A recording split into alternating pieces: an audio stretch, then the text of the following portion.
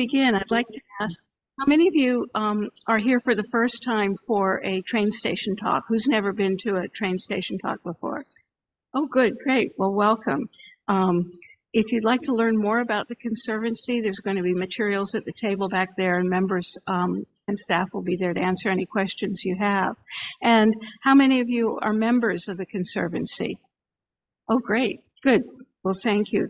It's the members who help to support all the uh, wonderful tasks and, and, projects that the Conservancy um, carries carries out, both financially and in person. And I don't know if you know the numbers of what uh, have we've done in the last bit, short bit of time. But in 2000, let's see, 2023, we planted and protected 4,300 shrubs and trees. And since 2020, when all the projects started, thank you, all the projects started, we now have 35,000 native trees and shrubs that have been planted and protected. And the planting isn't stopping. We're going to start again in the spring. And our goal to plant in 2024 is 10,000 trees.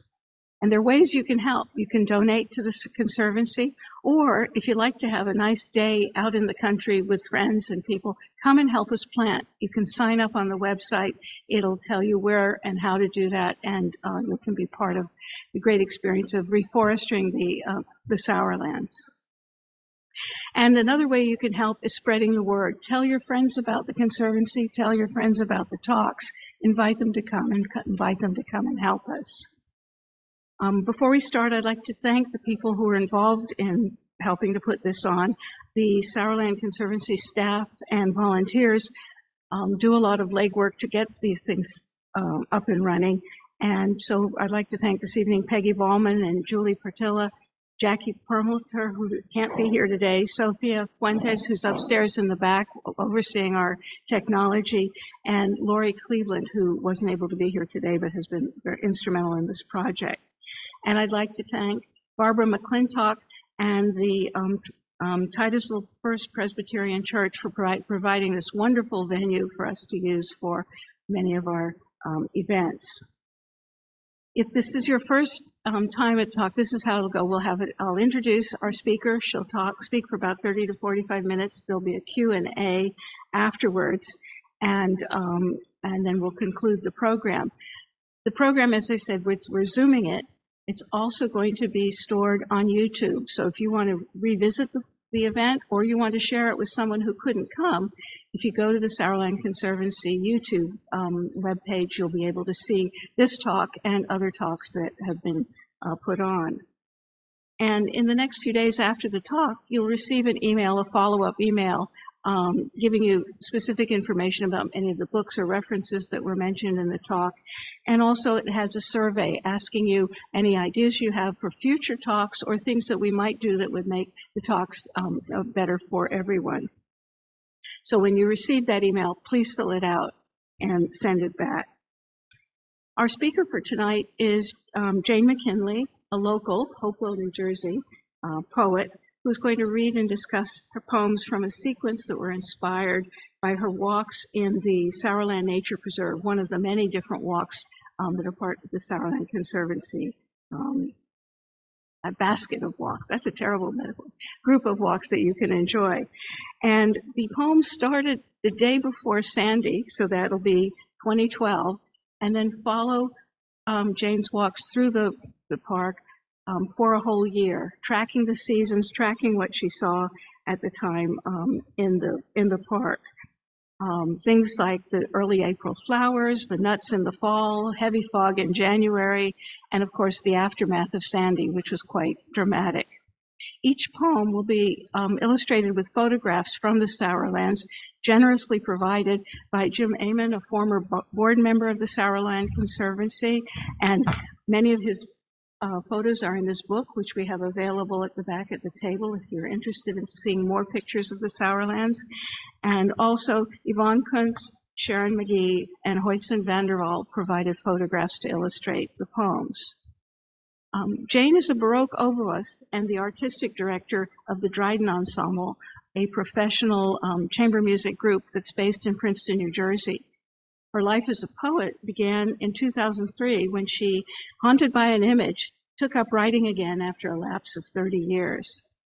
Her poetry collection, her first one, Vanitas, won the 2011 Walt McDonald First Book Prize, and her work has appeared in or is forthcoming in a number of publications the Georgia Review, the Southern Review, Five Points, Poetry Daily, Able Muse, and the Baltimore Review.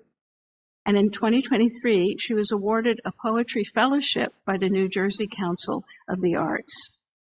And this, this past week, Jane got an email that informed her that the Able Muse Press will publish her poetry manuscript entitled Mudman, whose main themes are loss and the natural world, and cover poems about her experiences in nature, about her father's experiences during World War II, and elegies for her sister Priscilla and others. This book will be coming out in late spring or summer, so keep your eye open uh, for that. And without any further ado, I'd like to introduce Jane. Jane?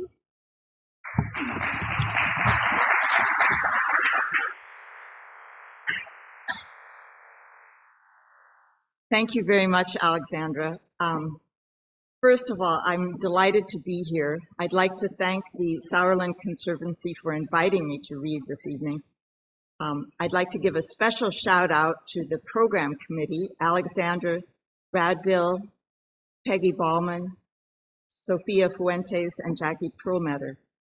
I'd also like to thank Jim Amon, Yvonne Kuntz, Sharon McGee, and my husband, Hoytson Funderall, for their photos. Um, we didn't, well, unfortunately, I didn't have photos of the day after Sandy or, you know, even weeks after Sandy um, because I wasn't thinking ahead and I'm not really a photographer. Um, and I didn't have a good fog poem e or photo either. So in December, one Saturday morning, I looked out the window and it was very foggy. And my husband is usually up pretty early, but he was sort of still dozing in bed. I said, let's go on an adventure. It's time to take some fog photos in the Sourlands. Um, Anyway, the committee asked me to say a few words about how these poems came into being. Um, in July of 2012, I had both knees, my knees replaced at the same time.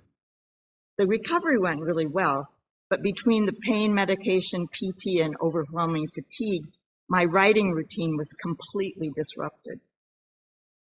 Strange thing, I discovered I couldn't write poetry while on pain meds. Um, in October, to jump start my writing that year, I decided to take a walk every Sunday in the Sourland Nature Preserve near Hopewell and try to find something during the walk to write about. I chose Sunday, of course, because hunting is prohibited that day, at least during the fall and early winter. Um, my first poetry walk took place on October 28th, the day before Hurricane Sandy hit New Jersey. Sandy caused so much destruction that it was weeks before I was able to return. I attempted it once, but the entire parking area was filled with utility trucks. One of the workers said, What are you doing here? and told me I needed to leave at once. Not all of the walks resulted in poems, of course, or I'd have a lot more. Um, and there were many Sundays when I had concerts to perform since I I'm a musician, but I managed to come up with this sequence. And I sort of put it aside until the summer of 2021 when I started sort of going through older poems and revising them um, to in order to put a second book together. Um, unfortunately, well, not unfortunately, but only one of the poems you hear tonight is in that book. But at some point, I hope to publish a small chapbook or something with these Sourland poems. Anyway, walking in the woods always restores me. I grew up in northern Iowa, nine miles from the Minnesota border. Zone three in those days, 30 below was quite normal. And I spent much of my childhood roaming the woods that had been in my family since 1855 when my great great grandfather bought land the government had taken from the local tribes. Most of this woodland is still unspoiled. It's predominantly white oak and bur oak and bitternut hickory, but there are also sugar maples, basswood, white ash, and black walnut. In the spring, these woods are carpeted with wildflowers. I didn't lay eyes on a beech tree until I went to college in Evanston, Illinois, and I don't remember ever seeing a tulip tree until I moved to this area. Both my parents loved nature, and our family spent many Sunday afternoons in the woods, a perfect way to rid six children of their excess energy. So I think that's enough background. Um,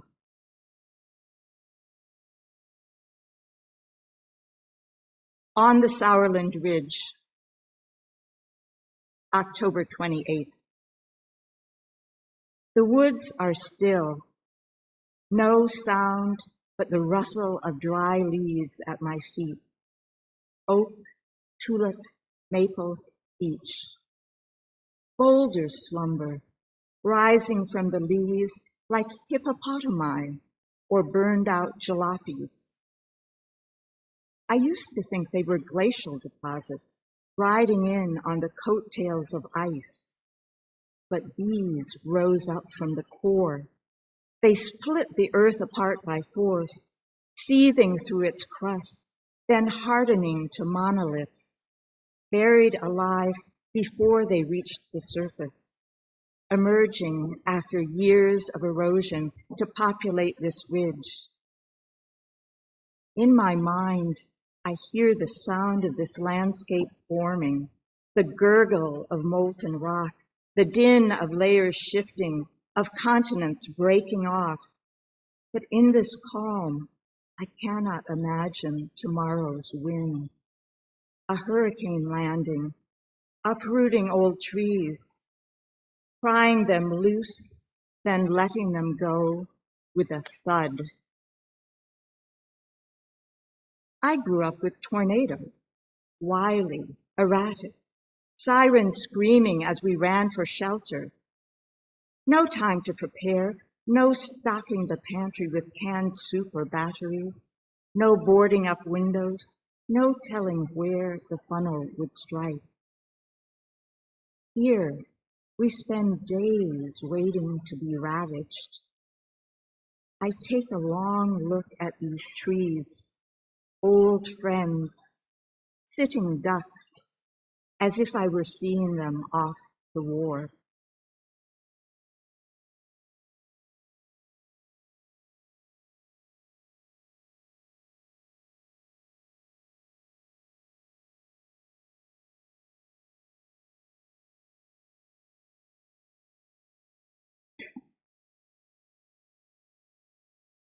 December 9th. Among the fallen, young and old, oak, maple, beech, their scattered limbs, the wind did not discriminate. Some giants lie prone, others perch at rakish angles, caught by a fork or suspended in air until earth lets go. One oak leans left at 80 degrees. On its right, woolly with moss, a mammoth boulder sits on its roots. Beside the trail, saplings bow down as if laden with snow, their twigs intertwined to form bowers above me. A middling tree bends from the waist in an arc resembling many Piplia upside downia. Others have snapped into ragged branches.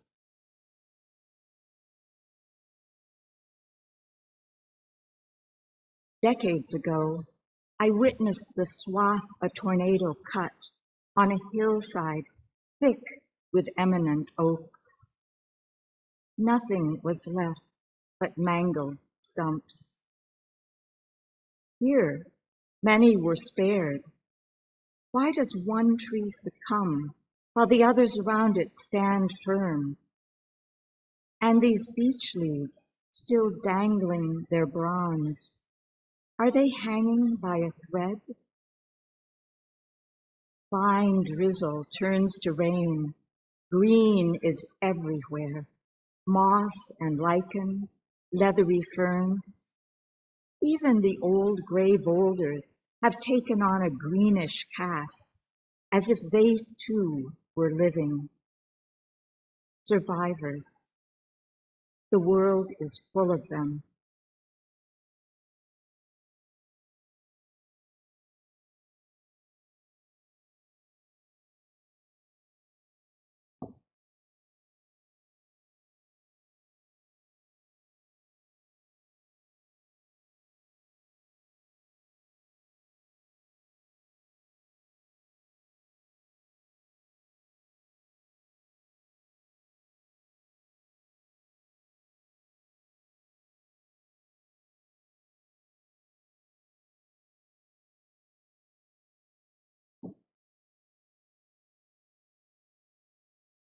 December 30th.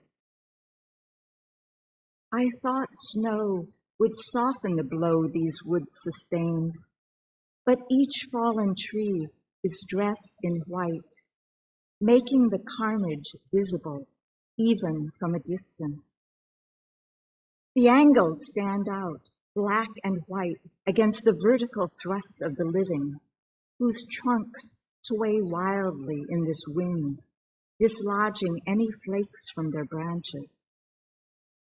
No matter the size of the tree, each trunk's lower third remains grounded, unmoving, the way ballast serves as a counterweight, while the upper two thirds thrash about. As if these trees were giant hydras, with tentacles flailing in search of food, their feet stuck fast to the rocks below. I stand here, stricken, water flea.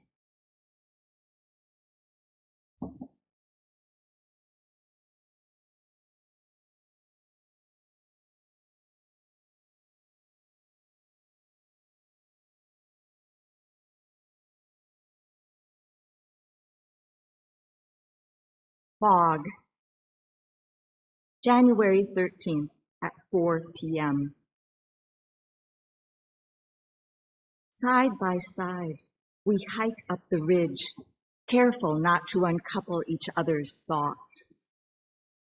We reach the high point, branching off instead of heading back the way we came, and find ourselves in an old photograph, a monochrome, a monochrome with hand-colored moss and lichen, beech leaves dangling, steeped in phosphorescent tea. The tree trunks flat, as if part of an opera set for Hansel and Gretel. The spaces between them pillowed with silver. The trail is hard to make out. Downed trees and branches keep forcing us to skirt the path so we rely on white markers nailed to trees or painted on. Darkness keeps unfurling. The fog thickens. We have no breadcrumbs, no flashlights. I think of farmers who froze to death, trudging back to their houses after milking the cows. How they kept going in circles, blinded by swirling snow, dying just body lengths from their own back doors. A broken police tape alerts us to a power line ahead, low enough to cut us off at the neck. Ducking under, we scramble over a fallen oak whose stub of a limb rips my left pant leg at the knee missing my incision by an inch. We step with care now, wary of wet spots, grateful for leaves in thick wads like stepping stones across the boggy ground, hearing the rush of last night's rain before we see it. The stream so swollen, it could be winter's end. A rattled cry quivers the air, stopping us in our tracks. We've gone too far to turn back now. The light is nearly gone. Water curls up around between the mossy rocks, increasing the distance we have to straddle. My titanium knees aren't ready for this, but my goat-footed husband forges ahead, leaping from rock to rock, lurching when he loses his footing, almost falling in. I wait for him to return, to take my hand, to guide me to the other side. We're both teetering now, shifting our feet as if dancing a quick step. Sepia turns to umber, the word itself full of shadow and earth. We stumble upon the main trail as if we'd found a passage to another world. And who's to say it isn't in this fog? From Fjuk, Old Norse for snowstorm, we cannot see the end until we're there.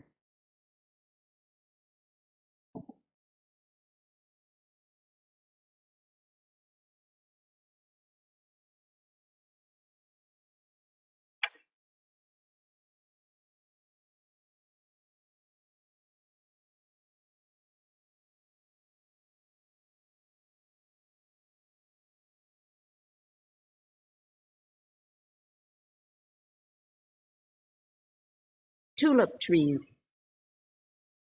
February 24th, for my father on his 94th birthday.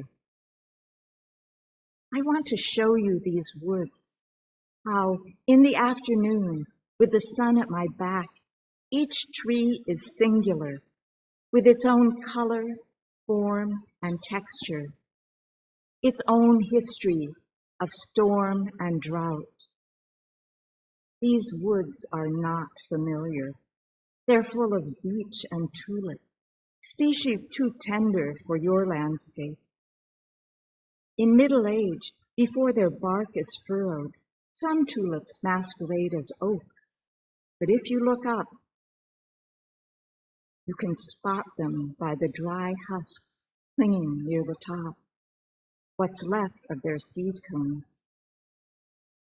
The first time I encountered tulip trees, over 35 years ago now, I was struck by their upright nature, how their trunks rarely stray from that straight path to the sky, how their flowers, pale yellow, flamed orange, bloom only in the upper reaches, as if meant for eyes in the clouds or creatures with wings. These trees will not be overshadowed. Two years ago, one sprouted by our back door. The presumed parent lives down the street. I'd planned to dig it up and put it in a pot, but it grew so fast that by the following summer, it was towering over me.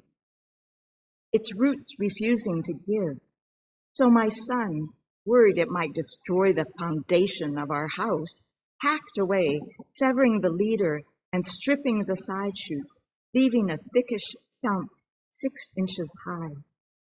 Furious, I snatched up the leaves still intact, specimens in every size, bright green shapes like conjoined mittens, knitted together, a thumb on each side, and pressed them between my gardening books and the OED. Last week I checked on them. There's still that lovely pea green shade, crisp as new bills. The stump has many suckers now, like stamens surrounding a pistil. I'm waiting for spring, the 37th without you, for a second chance to observe these leaves emerging, chains of green doors that keep on opening.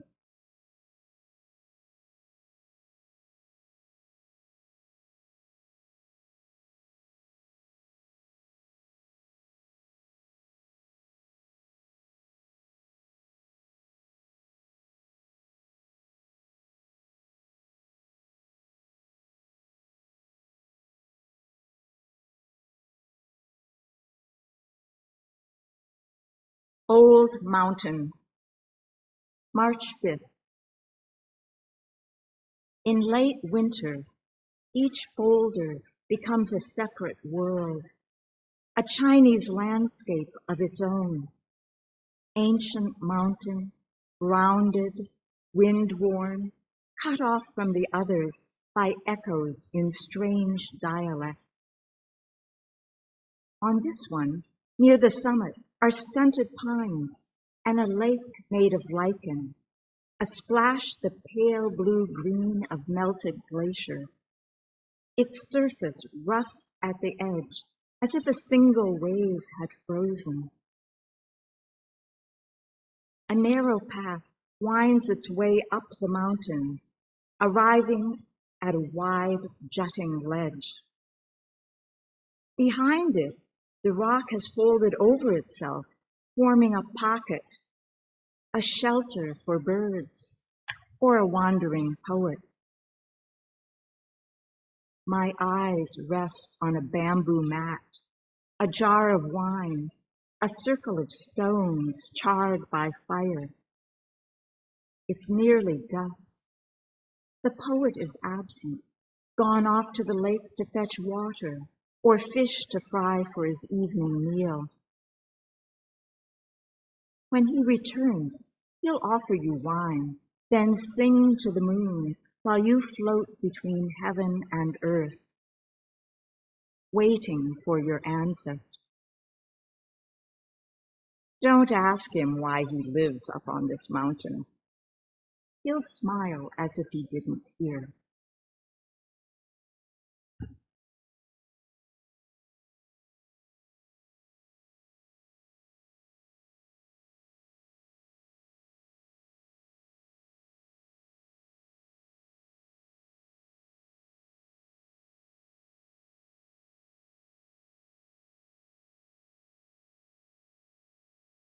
Plethora. A condition characterized by the excess of blood, or of a bodily humor, or of juices in a plant. Oxford English Dictionary. April 25th. Having missed the beginning, that slow rise of blood and sap, the gradual shift to blossoming, this excess is nearly too much to take in.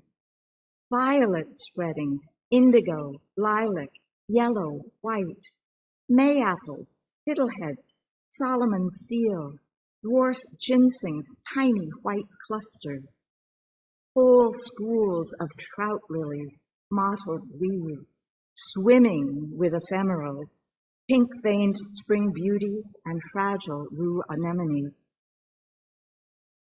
The trail's cordoned off with poison ivy, seedlings of every sort jousting for space. Strip malls of maple, beech, Japanese barberry, and saplings I mistake for saucer magnolias. I stop to observe their raw red petals. Not flowers at all, but sheaths peeling back allowing the frowning hickory leaves to escape their cramped quarters. Leaflets file out in chain gangs of five, twisted pale shagbarks, pining for light.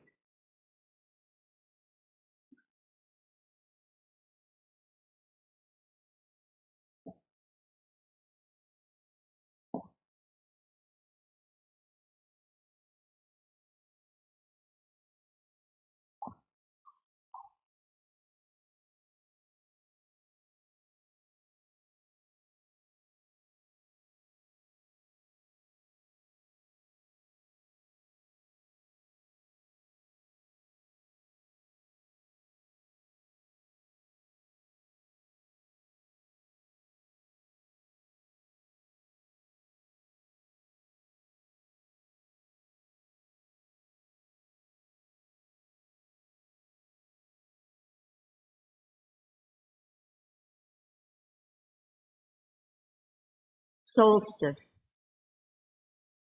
June 20th. A sapling stands out, leafless in this green profusion, a death that might have gone unnoticed if the sun were not turning the silk of five spiders to silver.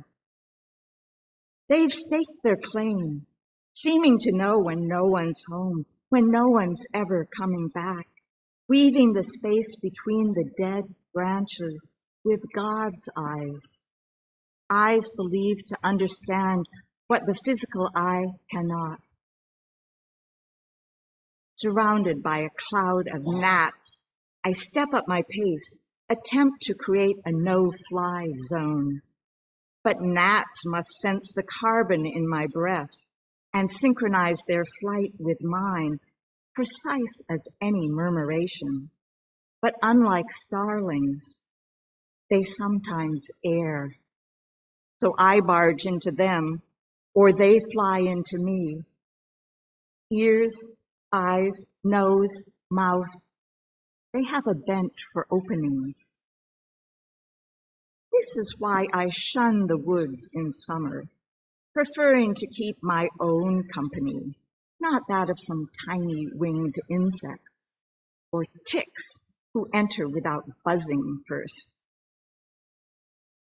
I'd have missed this emerald beetle crossing my path, the frog's throaty calls, the pileated woodpecker's whooping cry. As if on cue, a summer azure flutters by, pale blue reversing to silvery white, flitting while the sun stands still.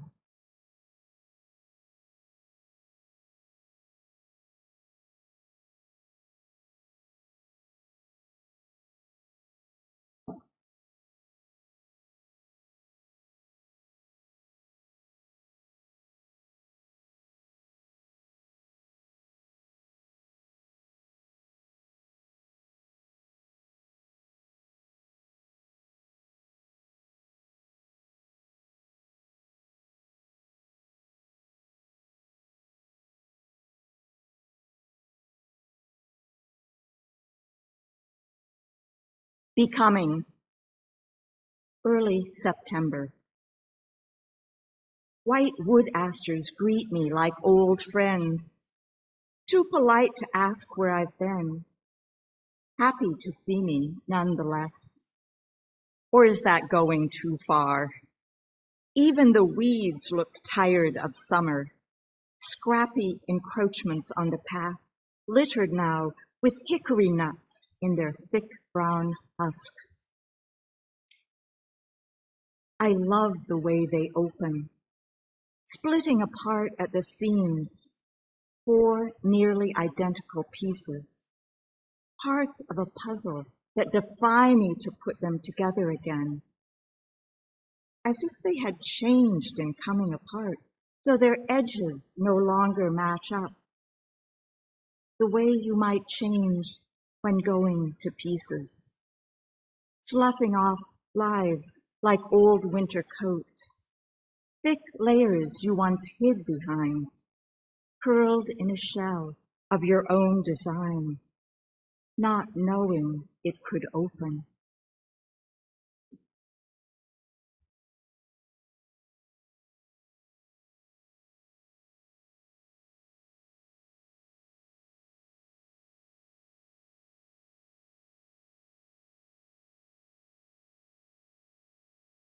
After one year, November 9th, all that remains are browns and grays, the stubborn leaves of beeches and oaks. Without the distraction of color, the destruction is plain. It's clear these fallen trees are recent losses. Bark sticks to their ribs, Shoots sprout from their junctures. The leaves they drop were buds a year ago. They've maintained a connection to earth somehow.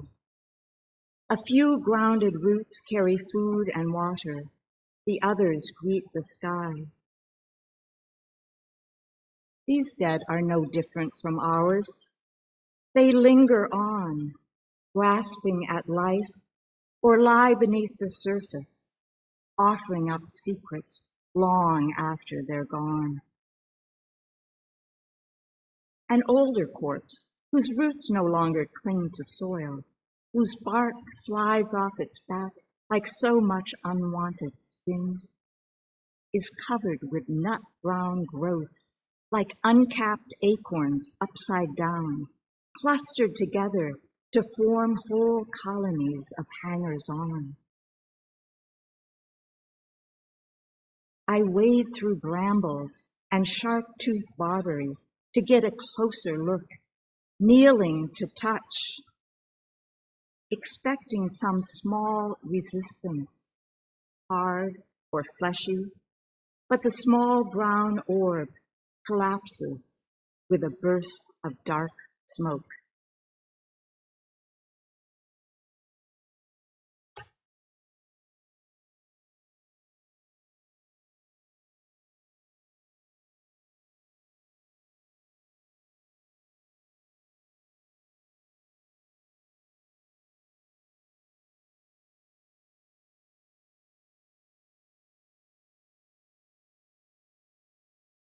Thank you.